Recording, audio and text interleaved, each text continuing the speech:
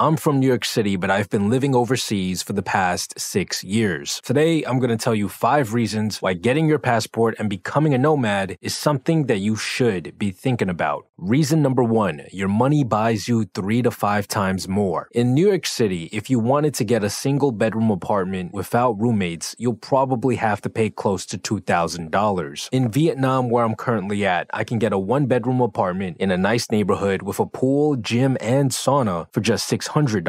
And this is the case for most South Asian and South American countries. Rent is about three to five times cheaper. In regards to transportation, a 30 minute Uber ride in New York City would probably cost around $30. This same ride in Vietnam is only $6, and if I wanted to take a motorcycle instead of a car, it's usually half of that, so we're talking about just $3. Overall, transportation is 5 to 10 times cheaper. In regards to meals, if I wanted to go out for a nice meal in New York City, it would probably cost me $30 minimum for like two dishes, and that's not even including the tax and tip, so I'm probably paying close to $40. In Asia, I can get two dishes at a nice restaurant for like $10 and I don't have to tip, so overall food is four times cheaper. The same goes for healthcare and entertainment and just about anything else you can think of. Overall, your money buys you three to five times more overseas, which means you don't even need to be making much money to live a good life, which is in stark contrast to life in the West. I've been seeing a lot of videos of people from the US saying that they only make fifty or $60,000 a year and are unable to afford the cost of living. It's gotten so bad that they've turned to maxing out their credit cards just to survive. If you worked remotely and made $50,000 while living in Southeast Asia or South America or even Eastern Europe, you would be living lavish like a king. It would be equivalent to making 250k back in the US. Reason number two is dating. Now, this is somewhat of a controversial topic, but I don't think it should be. It's simply a fact that it is easier to date overseas. Let me tell you about my personal experience. I'm a decent looking guy that's been in several long term relationships before I started traveling. Back in the day, if I spent an hour on Tinder, I would probably only get three to five matches per day. And out of every hundred matches, I would probably only end up going on two or three dates per month. Now, when I started traveling overseas, my results literally 10xed. It didn't even matter where I was. I could be in South America, Europe, or Asia. My dating app would be blowing up with notifications. I'm talking about hundreds of matches every week, which made it incredibly easy for me to go on multiple dates per week with little effort. If you want to enjoy life as a nomad, you're gonna need a remote job, which is why I made a video on the top five remote jobs on the market right now. These are all high paying, legitimate careers that do not require a college degree. And what's great is that for most of these jobs, you can get hired within three to six months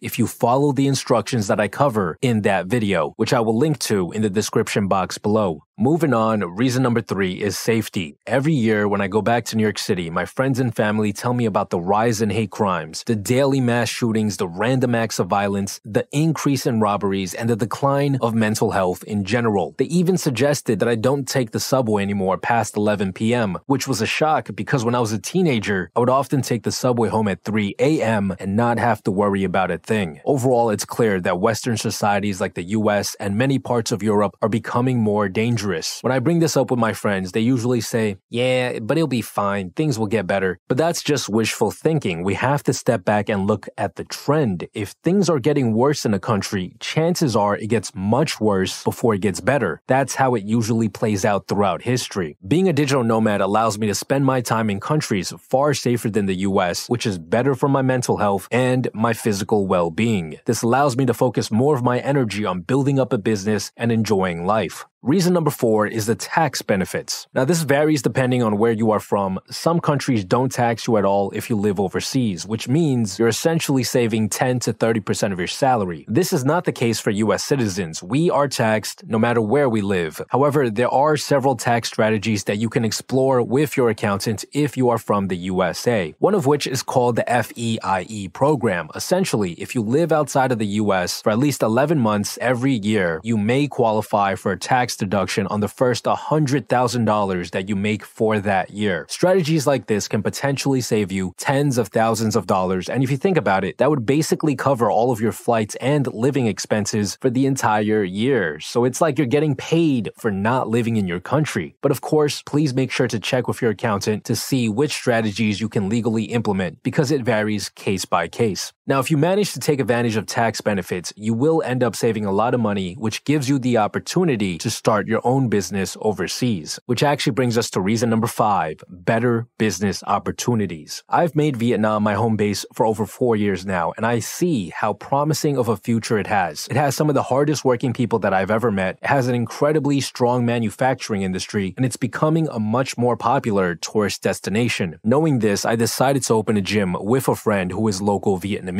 We decided to open it in a tourist location that's becoming more popular. It only cost me $5,000 and I now own 50% of the company. I don't do any work whatsoever. My friend manages everything and I've been making roughly $400 per month from this investment, which means I'll break even in just about a year. If I wanted to open a gym in the US, it would cost me hundreds of thousands of dollars to start. I would probably have to take out a loan and go into debt, and it would probably take me three to five years before I break even. That's assuming I don't go out of business. Fun fact 45% of businesses fail within the first five years. Sure, there's a chance my gym in Vietnam fails, but it only cost me $5,000 to start, which is just a fraction of the amount of money I save by living overseas instead of back in New York City. By being overseas and taking advantage of tax benefits and the lower cost of living, I'll be able to open up multiple brick and mortar businesses like this every year, which will give me a steady stream of income that constantly grows. Now, if you want to reap all of these benefits, you're going to need a remote job. You can check out my video on the top five remote jobs on the market in the description box below. These are all high paying, legitimate careers that do not require a college degree. And what's great is that for most of these jobs, you can get hired within three to six months if you follow the instructions that I cover in that video. Hope you like this video. Let me know what you think about these benefits in the comments down below. And besides that, stay tuned.